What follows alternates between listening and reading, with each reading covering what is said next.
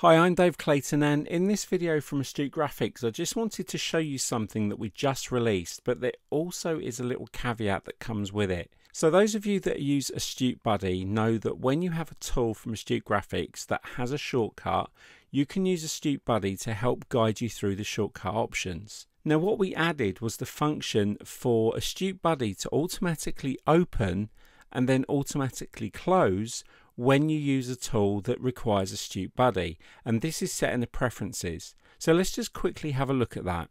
If you haven't got Astute Buddy open, just come up to Window, and what we've also now done is we've put all of our Astute Graphics plugins under one menu setting. So you can just now go to Astute Graphics and then find one of the plugins that you want to open up.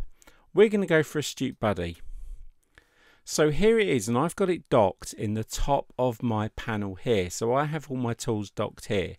Now because it's docked, this is the small thing that you're going to have to watch out for. Let's just close that off for a moment. Okay, so I've got this piece of artwork here. Let's just add something to it with dynamic shapes. So if I click on the dynamic shapes panel here, it's going to open up. I'll pick one of the shapes and as I start to draw, you'll see that Astute Buddy automatically opened.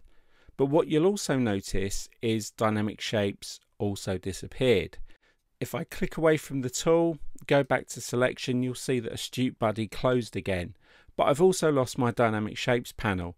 So the way to overcome this if you want this particular function to work is you are going to have to pull Astute Buddy out undocked so it's floating.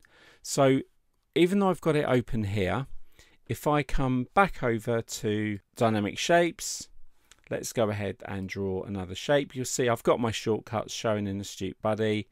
But if I now go and click on the select tool, Astute Buddy closes, but my dynamic shape stayed open. So for this feature to actually work, you do need to undock Astute Buddy for it to be able to open and close. As I mentioned, it's in the preferences. You can turn it off if you want. Let's just go back and open that up again because I just closed it. We'll go to Astute Buddy so if we come through to the options here, Astute Buddy Preferences, I can actually turn off the automatically show and hide if I want, and then it won't matter. If you undock it and leave it open, it'll always stay open. And then when you use one of our tools, it will just automatically switch straight to the shortcuts for that tool.